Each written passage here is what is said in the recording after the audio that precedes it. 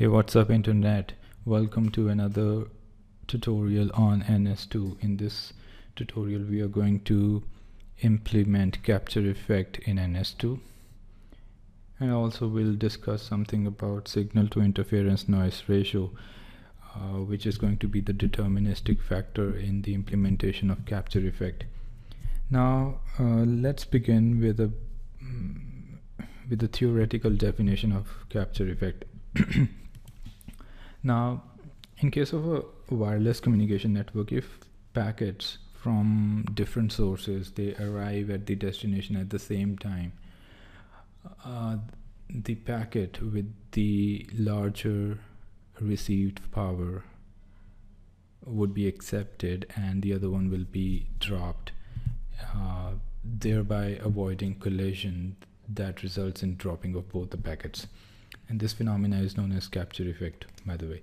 And um, the signal to interference noise ratio plays an important part because uh, if we increase the transmission power of the packets at the source nodes that'll increase the SINR and if the SINR is above threshold at the receiver we we we would consider that packet to be uh, accepted at the receiver.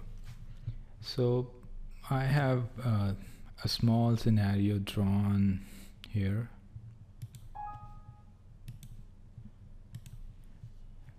All right, we've got node 0 and node 2 and then I've got node 1 as the receiver. If node 0 and node 2 try to send the packets simultaneously to node 1 with the same transmission power they will result in a collision but if let us say the packet sent by node 2 has a greater transmission power it it it would be received by the receiver. Now uh, I've got this uh, capture file that that you can download from the link in the description below. And uh, you need some kind of uh, prerequisites that you need to meet uh, in order to perform this experiment. Let me just briefly tell you about them.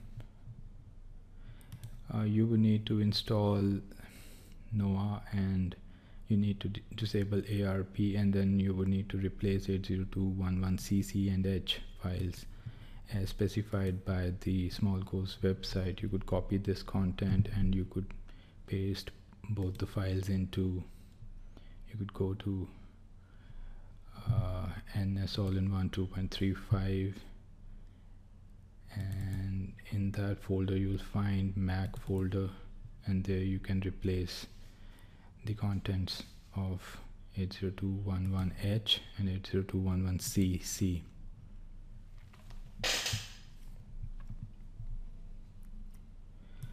So after having done, done that you could simply run the simulation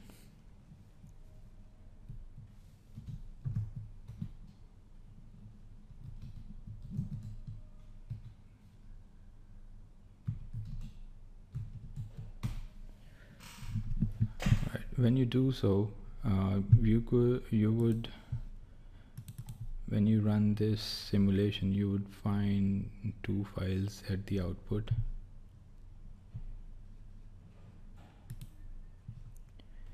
And if you open test.trace file in pspad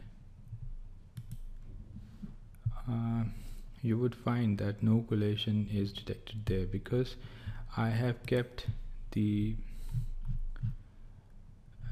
uh, transmission power of node 2 to be at a higher level than that of the node 0 so what I'm going to do here is I'm going to disable this so that both node 0 and 2 they have the same transmission powers and they would result in collision. So I'll save this file I'll run the simulation again. And let me just test the test or trace file again and that has resulted in collision at these two times. Alright you can see collision collision here.